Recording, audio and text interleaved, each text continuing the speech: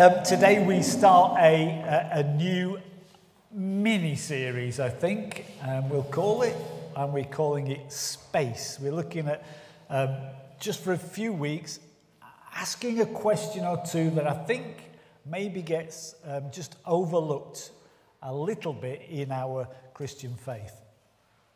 A couple of weeks ago now, I, um, while Jan was away, you know what it's like. What did they say? While the cat's away. That's something like that. When, are you sure, Arthur? What did you say?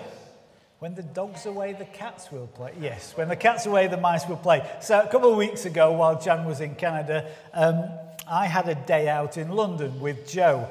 Um, and primarily, we were there for a bit of culture, of course. Um, we went to the Globe Theatre um, to watch a bit of Shakespeare. My knees are still kind of recovering from two and a half hours standing watching Midsummer Night's Dream. Um, we did a bit of exploring while we were in London. Um, but given we had a bit of time to kill at one stage, Joe suggested that we, we were close to it, so we go into the Tate Modern. For those who don't know, the Tate Modern is an art art gallery. Okay?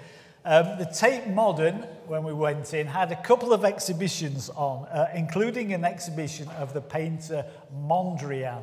P.A. Mondrian, as I'm sure you are, you are all aware, and according to Google, is a Dutch painter regarded as one of the greatest painters of the 20th century.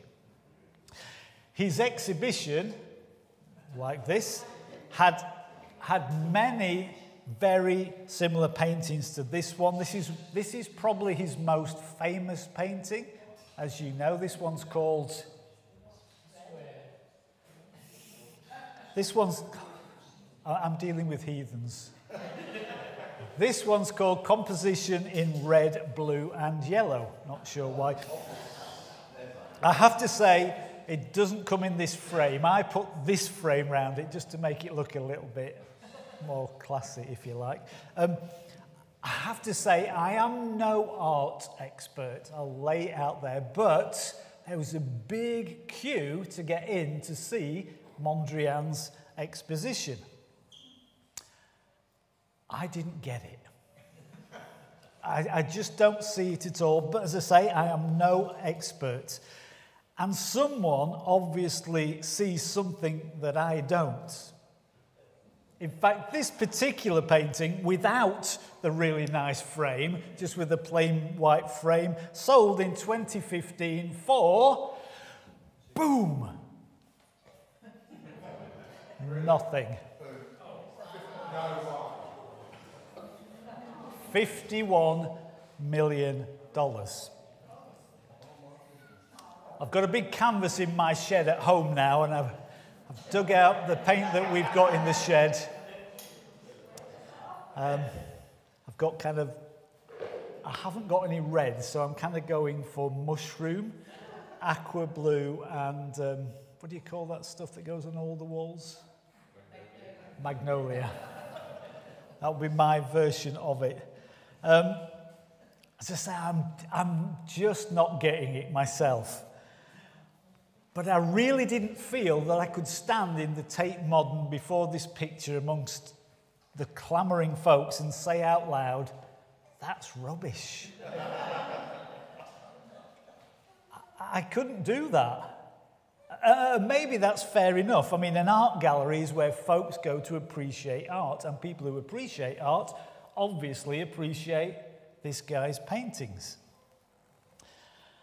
I, I of wonder if, in some sense, we see the church in a very similar light to that of an art gallery.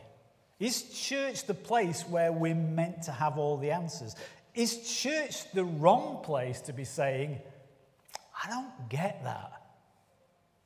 Let me put it another way and ask Is church the place to be if we have doubts? The title for this mini series is going to be Space, but expanding it for this talk, we're labeling this as um, a faith with space to doubt. Question mark. Are we allowed to have doubts about some of maybe what we read in the Bible? Are we allowed to have doubts about some of the teachings that we get on a Sunday or from maybe podcasts or whatever? What are we supposed to adhere to? Do we have to just go along with everything that's been said? I want to have a look at that this morning this idea of is ours a faith with space to doubt or not? Um, so let's have a look, let's see where we get to. It feels to me a little bit like doubt seems to be a bad word in Christian circles. Like, like if you're starting to doubt, it feels like maybe you're starting to lose your faith. I mean, after all, we define doubt as a, a, a lack of, uh, sorry, a feeling of uncertainty or a lack of conviction. And, and that element of doubt, it, it can be a regular part of our lives. Um, I was talking to Ken and Jill earlier, and um, was it Jill's son who done a marathon? If someone came up to me and said, Would you do a marathon for charity, a really worthwhile charity? I might say yes, but generally I'd have doubts as to whether I would finish or not. Now, in that case, doubt might kind of bring me down and go, No, I'm not doing it. Or it might prompt me to prepare more thoroughly. You see, doubt being an actual day to day part of our life is potentially neither good nor bad. It's our response to that uncertainty that will determine whether it's good for us or not. But what about faith doubts? What about doubt concerning our faith and our relationship with God? Let me just throw this um, Steven Furtick quote right out at the beginning. Steven Furtick is a, um, a, preacher, a well known preacher. He says, Don't assume that faith is the absence of doubt. Don't assume that faith is the absence of doubt. Maybe doubt is something we have to wrestle with. Maybe it would help if we turn to Scripture. And if we're going to turn to Scripture, then who would be the first person we thought of when it came to doubting? Exactly. Asaph. Sorry, what did you say? Oh, let's go with Asaph. That was my first thought, obviously. The book of Chronicles tells us that Asaph a Levite was one of the three men commissioned by David to be in charge of the singing in the house of God. Asaph is a chief worship leader, he's in a privileged position. He's, he's one of the, the key men in the church, if you like. And Asaph is the guy credited with writing Psalm 73. Here's how that psalm starts. In my Bible, it reads Psalm 73, a psalm of Asaph. Surely God is good to Israel, to those who are pure in heart. That's a good start, don't you think? But note where this now goes. But as for me, my feet had almost slipped. I'd nearly lost my foothold, for I envied the arrogant when I saw the prosperity of the wicked. They have no struggles. Their bodies are healthy and strong. They're free from common human burdens. They're not plagued by human ills. My feet had almost slipped. I nearly lost my foothold. Kind of feels like his faith is slipping away. Doubt is creeping in concerning the value of serving God. This is like chief worship leader.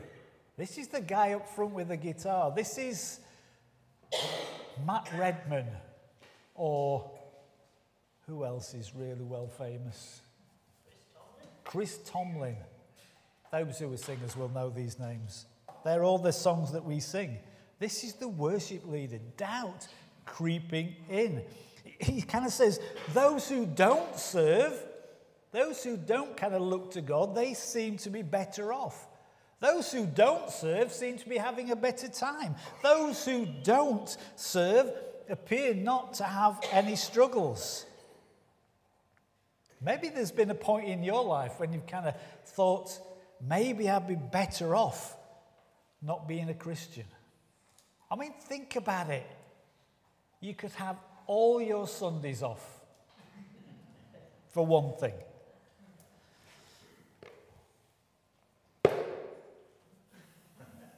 You wouldn't feel tempted to put any money in the offering, but I know some of you don't feel tempted anyway.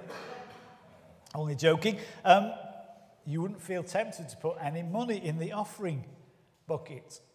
You could put your feet up. You could go and do whatever you wanted, be that good, bad, or indifferent. Those kind of thoughts might lead us towards slipping, losing our foothold on our faith. That's Asaph. He's got these doubts. He's put them down there in the Bible. It's a song the guys were singing. They were singing, Oh, God is good, God is good, but my feet nearly slipped because everybody else is better off than me. Let's turn our attention to another doubter. And of course, when we go to doubting, it's got to be. That's right, Mary the mother, we'll get to Thomas, I'm sure. Mary, the mother of Jesus. Luke reports how this angel comes to visit Mary. Um, we all know the story really well. Luke chapter 1, the Christmas story. The angel comes to tell her that she's been chosen to carry the Son of God. And Mary, reasonably, I think, is confused, puzzled. Luke says in uh, Luke 134 Luke says, Mary was greatly troubled at the angel's words. Of course she was. And then she expresses this How can this be? How can this be?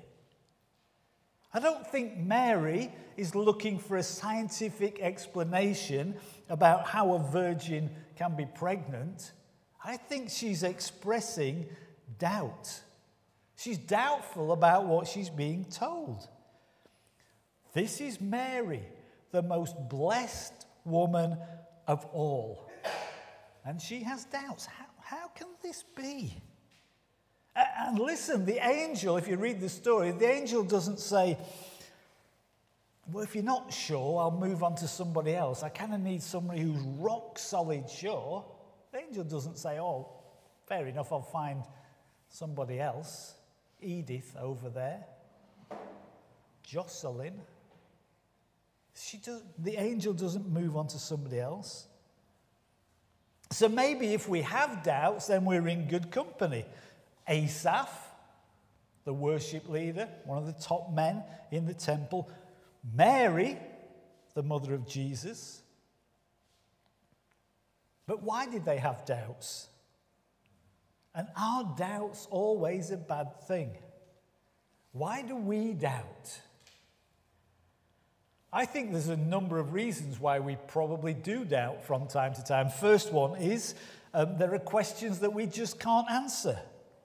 I mean, take the creation story, for example, in Genesis. I know some of you guys have got all this totally in here, but I'm not sure I have. And if an astrophysicist came up to me and said something, I'd probably say for starters, I don't know what you're talking about. But if they came to me, an astrophysicist, and said, How can you square the Bible's creation account with what we now know as fact about the origin of the universe and the Big Bang? I mean, there might be an answer to that. And some of the kind of more intelligent, I'm kind of looking around for the more intelligent people, but there are, so, there are one or two in here who might have a good answer to that. But I don't necessarily know all the answers. I don't think I'm intelligent enough to totally get to grips with it. So I may doubt elements of the creation account. Is that okay? Uh, in the past, I've heard people say the Bible says it, and I believe it, and that settles it. But honestly, sometimes I think are a little bit more complicated than that. So that's one reason we might doubt we don't have all the answers. Secondly, we might be prompted to doubt a tad when we come across situations that seem unfair, when bad things happen to good people, or, or as Asaph, the psalmist, talks about, when good things happen to bad people. Or I prayed and it just didn't seem like God came through.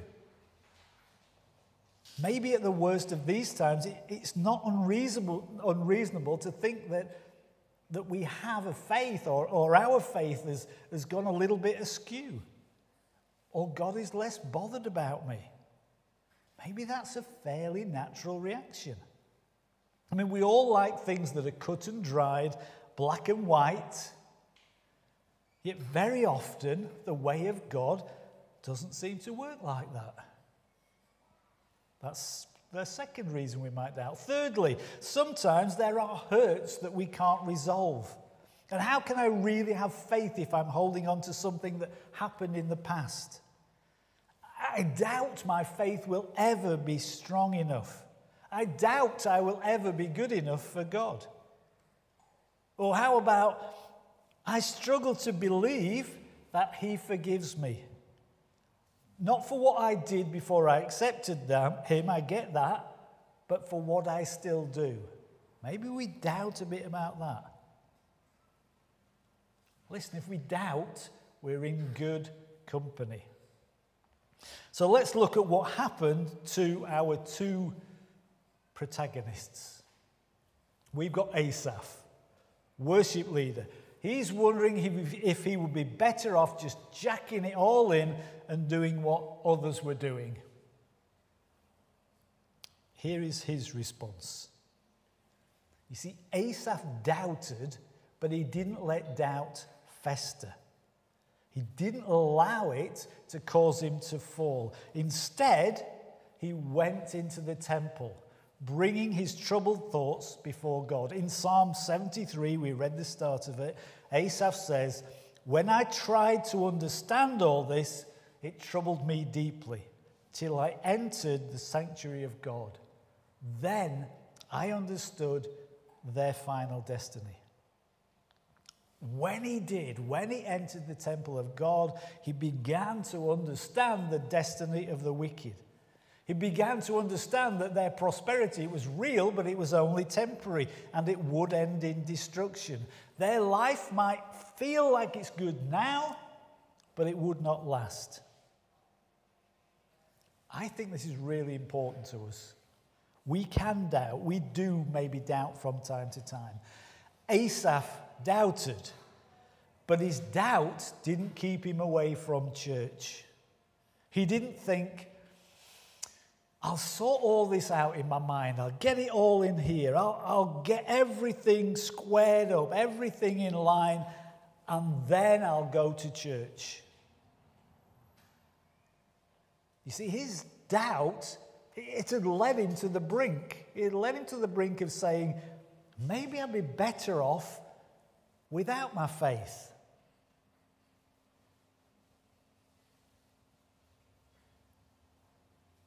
But he took his doubt to God rather than walk away. And God helped him to see that God Himself was enough, was sufficient for him and he was strengthened by that insight.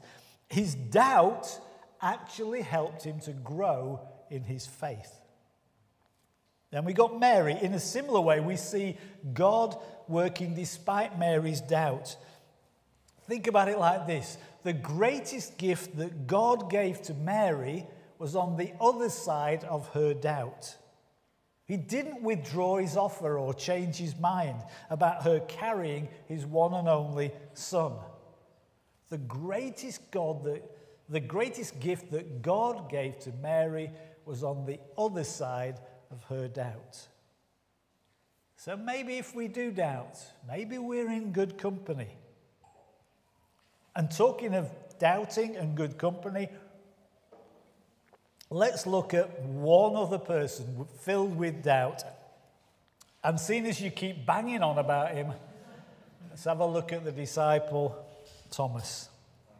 I think Thomas has got a really bad rap throughout history. He's known as um, what would you call him? What's his nickname? You see, everybody knows he's known as Doubting Thomas. I'm not sure that's fair on the guy, but let's have a look, let's decide. So, Thomas. And as we read, I want you to bear in mind that, that um, Thomas had been handpicked by Jesus, okay? Just a little while earlier, Jesus, in going, um, right, I need 12 people. Let's say he picked all men, because he did, but that was the culture of the time. He probably went around and said, I'll have you, and you, and you, and you, and you, and I'll have you, Thomas. Like of everybody Jesus could have picked, Thomas was one of them. Doubting Thomas. So, had Jesus made a mistake? Did he pick the wrong guy? John 20 um, is recording what happened right after the resurrection. So, literally, Jesus has been crucified. This is the Sunday after Resurrection Sunday. And John records on the evening of that first day of the week, Sunday evening, Easter Sunday evening, the same day that Jesus left the tomb, on that first day of the week, when the disciples were together with the doors locked for fear of the Jewish leaders, Jesus came and stood among them and said, Peace be with you. After this, after he said this, he showed them his hands and his side, his, his wounds. The disciples were overjoyed when they saw the Lord.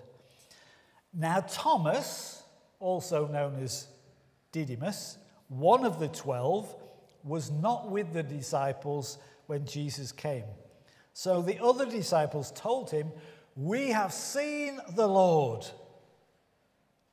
But Thomas said, Unless I see the nail marks in his hands, and put my finger where the nails were, and put my hand into his side, I will not believe. Thomas would have been great on casualty, wouldn't he? you know, I'm not sure I would have been saying those things, but unless I see the nail marks in his hands and put my finger where the nails were and put my hand into his side, what? I will not believe. Thomas says, I won't believe unless I see and touch. Doubting Thomas. Yet the only reason the other disciples were believing was because they'd seen him. They were pretty much doubting up to that point as well. Don't forget, they'd locked themselves away before Jesus appeared to them. We don't know why Thomas would doubt the word of the other disciples, and so we give him this bad rap, doubting Thomas. We don't know why he would doubt the words of his friends, but maybe he had good reason. Maybe Thomas had had disappointments in the past. Maybe he'd had some heartaches. Maybe there were things that he hung his hopes on that didn't work out. Maybe we've all been there. I remember kind of years ago applying for jobs and you know, writing up, sending off the CV, getting interviews, going for several interviews and thinking, I've really nailed this. You know, I'm the right man for the job. Um, the interview went really well. I got on really well with the people. It's a nice place. I love it. All that just to get a rejection letter a few days later. And nowadays, I think you don't even get a rejection letter necessarily, just goes by the by. And after a few of those kind of interviews and getting rejected, just doubting I would ever get a good job. It's a, maybe a natural thing. Maybe Thomas had gone through similar emotions. Or maybe Thomas was a lot more intelligent than we give him credit for. The well known Bible scholar Oswald Chambers says, Doubt is not always a sign that a man is wrong, it may be a sign that he's thinking. I think that's something to think about. Doubt is not always a sign that a man is wrong, it may be a sign that he's thinking. The story of Thomas moves on. John records a week later, a week after Jesus has appeared on Resurrection Sunday. A week later, his disciples were in the house again, and Thomas was with them. Hooray! Finally, though the doors were locked, Jesus came and stood among them and said, Peace be with you. Then he said to Thomas, I kind of heard what you were saying. Here's your chance. Put your finger here.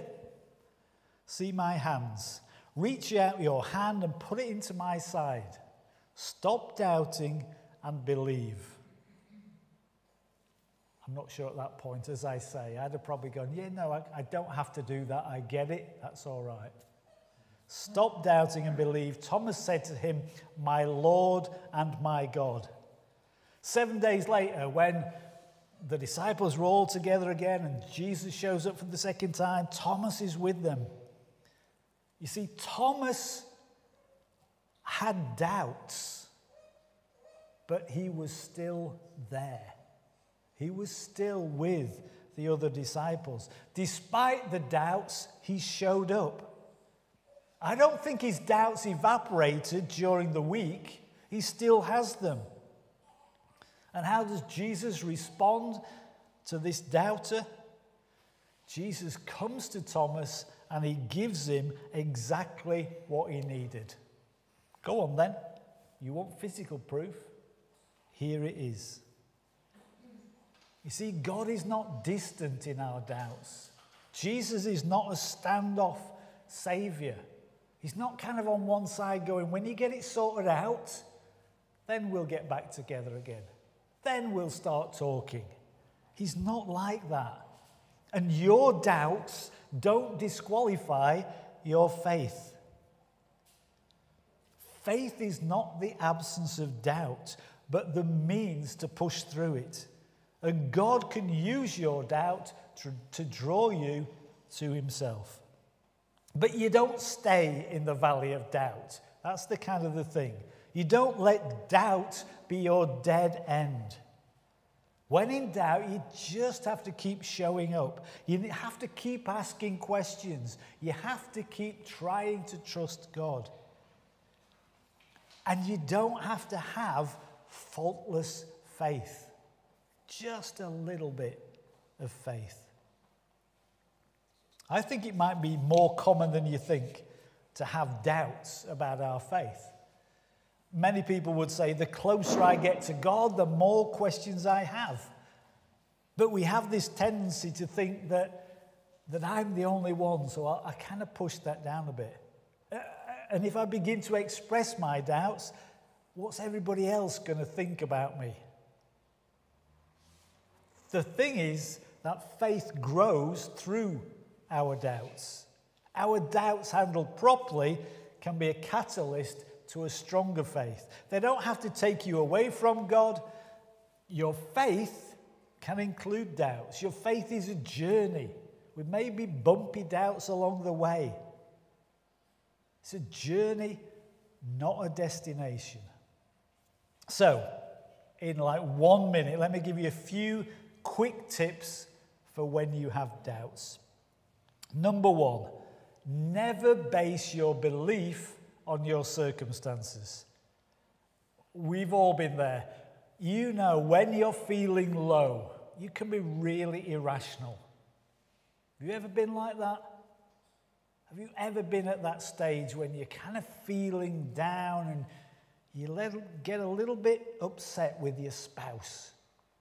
And you kind of, you know it's not right, but you're kind of a little bit irrational. So never base your belief on your circumstances. Number two, turn towards Christ rather than turning away. He can handle the doubts. He doesn't want you turning your back and going, I'll sort it all myself first. I'll get it sorted. Sorted. I'm back, Jesus. And Jesus is like, we could have sorted that between us. Turn towards Christ rather than turning away. Number three, pay attention to the evidence. When Jesus confronts Thomas, he presents the incontrovertible evidence. Look at the facts. Number four, accept the fact that not all your questions will be answered. Can I just throw it out, particularly to anybody in our Connect group? When you start asking those difficult questions, just accept that sometimes we're going to go, let's move on. We haven't got much time because we don't know. We don't have all the answers. And finally, don't condemn yourself for having doubts. You're in good company. Asaph, worship leader.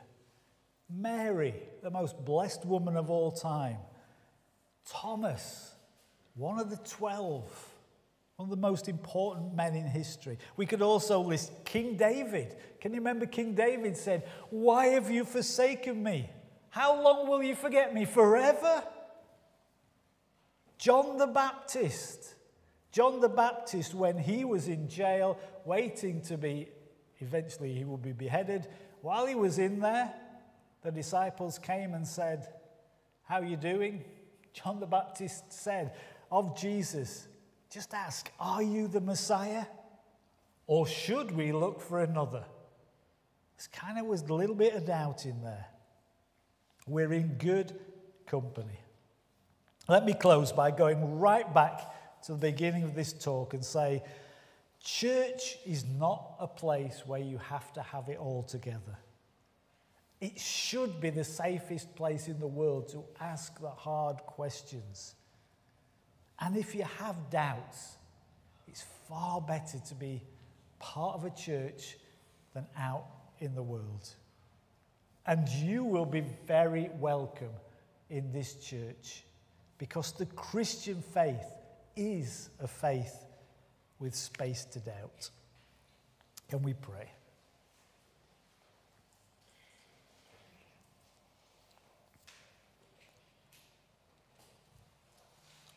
Father, I wonder as we pray, I wonder whether at some point all of us have had some doubts about our faith.